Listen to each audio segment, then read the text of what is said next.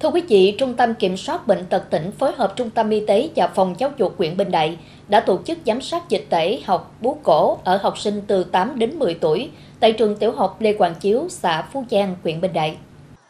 Qua kiểm tra thăm khám cho hơn 100 học sinh khối lớp 3, lớp 4 và lớp 5 tại trường tiểu học Lê Quang Chiếu, đoàn đã phát hiện 11 trường hợp bú cổ độ 1A và 20 trường hợp có yếu tố nguy cơ bú cổ. Điều này cho thấy tỷ lệ sử dụng muối iốt tại gia đình các em đang ở mức thấp.